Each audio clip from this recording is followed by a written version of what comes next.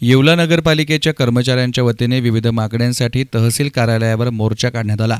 सफाई कर्मचाऱ्यांना घरे बांधून द्यावीत. अनुकंपा अंतर्गत नियुक्ती तात्काळ द्यावी.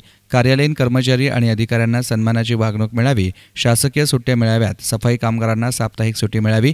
कार्यालयीन कर्मचारी आणि अधिकाऱ्यांना सन्मानाची वागणूक मिळावी. कर्मचारी व कामगारांना वेळेवर रजा मिळावी. भविष्य निर्वाह निधीचे कर्ज त्वरित मंजूर करावे. आदींसह विविध मागण्यांसाठी येथील नगरपालिकेच्या कर्मचाऱ्यांनी तहसील कार्यालयावर मोर्चा काढला होता. या मोर्चात महिला आणि पुरुष कर्मचारी सहभागी होऊन विविध मागण्यांबाबतचे फलक कर्मचाऱ्यांनी हातात घेऊन घोषणाबाजीही केली.